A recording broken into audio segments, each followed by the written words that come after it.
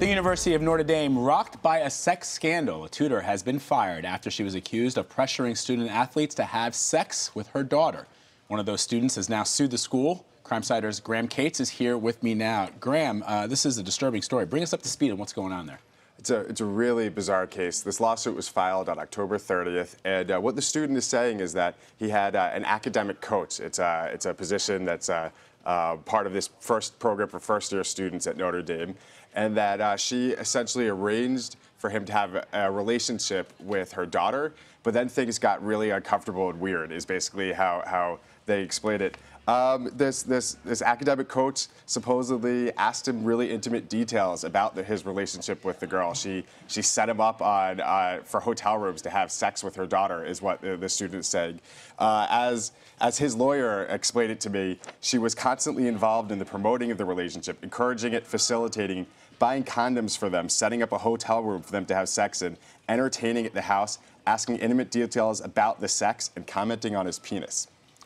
Okay, so this is his side of the story. You spoke to yeah. the lawyer representing the student who filed the lawsuit. Let's get to first what he had to say. He said, he said basically the school should have known about this. Uh, he said this is a, a person who, who, worked as an official for the school. There are allegations that she had actually had similar arrangements with other students. And he said that there was just these things like trying to convert the student to Catholicism, and that when the uh, student wanted to break off the relationship, he said that the, uh, the academic coach kind of insinuated that that might affect his scholarship standing, and lots of things that just seem very unsavory.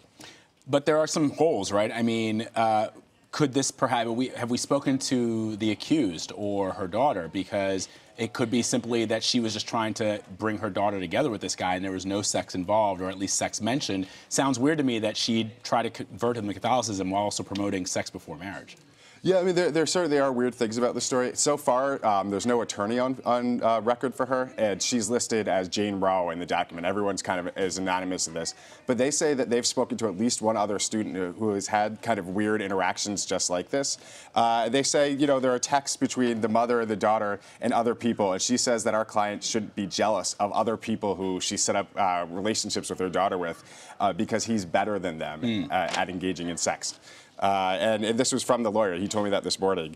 Uh, he said that the student told uh, the, the woman, uh, this isn't right, uh, I'm trying to move on. Um, and she responded in, in a text that uh, he's a scholarship kid and that there was kind of this, again, this insinuation that he was risking his scholarship. So, but there is a possibility that it could have just been dating and for whatever reason, this student decided to file this report, and that will have to come out at trial. Yeah, but um, she was actually fired uh, uh, earlier this uh, in October, actually, and the school said um, they sent this letter um, that uh, to the to the student saying the university has completed its case analysis into the into the interactions. The university has concluded that this person's behavior violated the university's values and the university's sexual and discriminatory harassment policy. Mm.